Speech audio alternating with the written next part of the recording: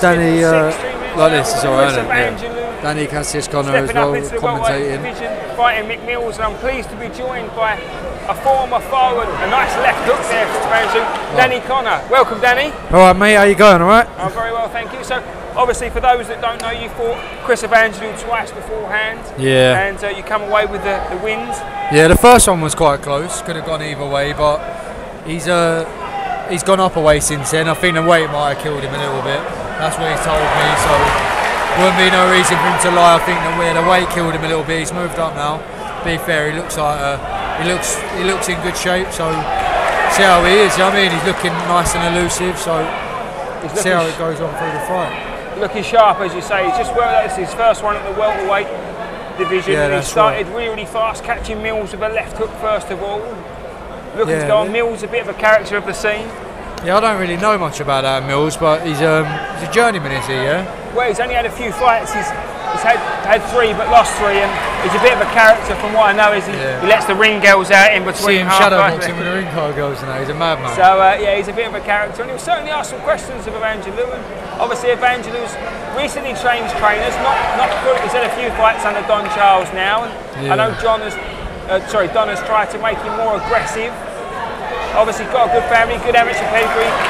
Do you know what? Some nice left hooks to the body That's there. one thing I'll say about Chris. When I boxed him, he he had no game on the inside. Like that's that that's what we knew that I had to do: get close to him and get get him on the inside because he didn't like it up close. But to be fair to him, with this kid here, he looks like he's uh, he's working a bit harder on the inside. He look, looks a bit more compact as well. When he's banging them left hooks in, so he's looking like Don's done.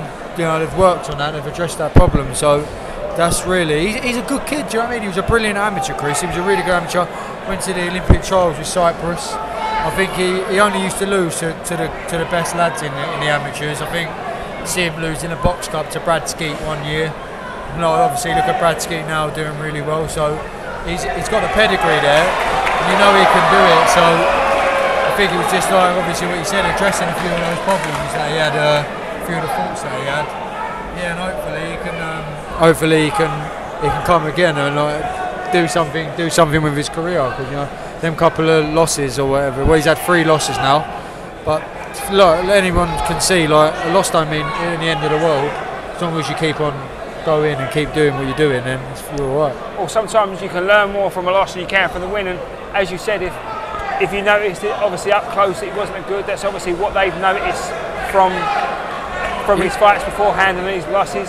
Tell you what, he, to work he looks he looks like a different fighter. To be fair, like when I boxed him, you would never have seen him up close like that. And Mills down at the end of the round there, and I guess it was just an uppercut at the end. Evangelou's back on his stool. The referee's administering a count. He's counted out oh. Evangelou was the sat on the seat. That is the first I've ever see, seen, yeah. Danny.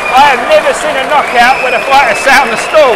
Oh mate, think he might have done his eardrum. A nice He's little holding his ear there, so something was, who knows? off an uppercut. He was hurt. I'll tell you what, again, like he looked, that's the best Chris Evangelou I've probably seen in his pro career. You know, like he's up close, nice and tight, banging in the hooks to the body and that. They were saying about me and him having a rematch one day, but seeing that, I think I'll give him a swerve.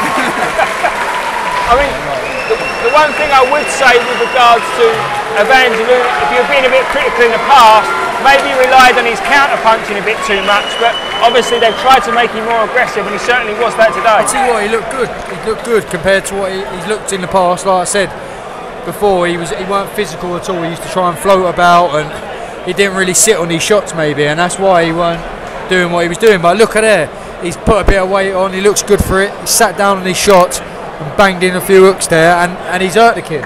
I mean, and that kid was in pain there. You could see he did. You know I mean, he's done well there. So fair play to him. He's he's come, made a comeback. Three losses in a row, and, he, and you know I mean. He's back now, so you can't uh, you can't knock him. He's done really well. So it's just a case of seeing where he goes now. Obviously moved into the, the welterweight division. It is a tough division, the welterweight. It's a big division. It is.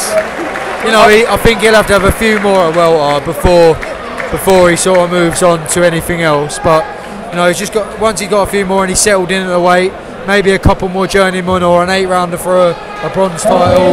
Then who knows? You know what I mean? You just don't know what's possible. We'll just go to the MC for confirmation.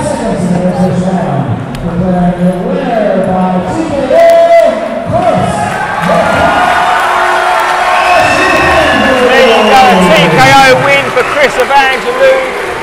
He looked really, really good in the welterweight division. We look forward to seeing him again. And Danny, thank you for joining us for Yeah, cheers, lads. Nice one. Back to Mene.